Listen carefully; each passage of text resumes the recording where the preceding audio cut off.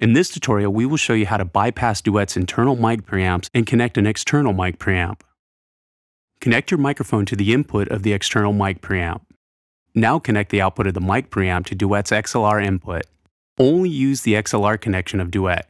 Do not use the quarter inch input as it was designed specifically for instruments. Open Maestro. Select the Input tab.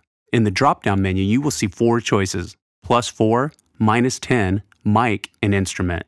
If the output of your mic preamp is balanced, you will choose plus 4. If the output of your mic preamp is unbalanced, choose minus 10. We are using a mic preamp with a balanced output, so we will choose plus 4. Now adjust the gain on your external mic preamp and you're ready to begin recording.